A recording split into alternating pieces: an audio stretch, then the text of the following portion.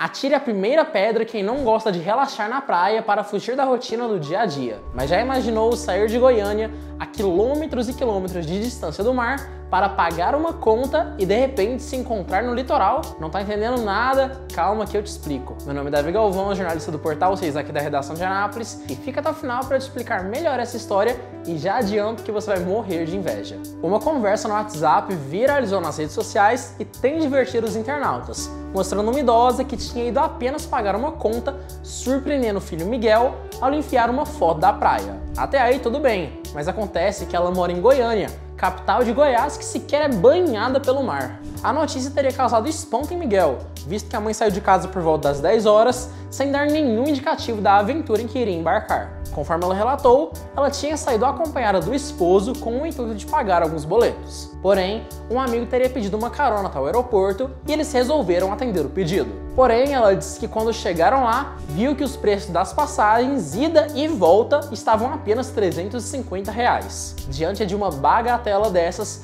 ela conta que não pensou duas vezes e logo compraram um par de passagens. O filho então questionou como eles tomaram uma atitude tão abrupta, visto que não estavam com malas para a viagem ou tão pouco tinha alguma reserva de hotel. Mas ela simplesmente respondeu que que queria saber era de tomar uma nesse sol quente. Mas me conta, o que você achou dessa atitude desses pais? Apoia ou foi responsabilidade?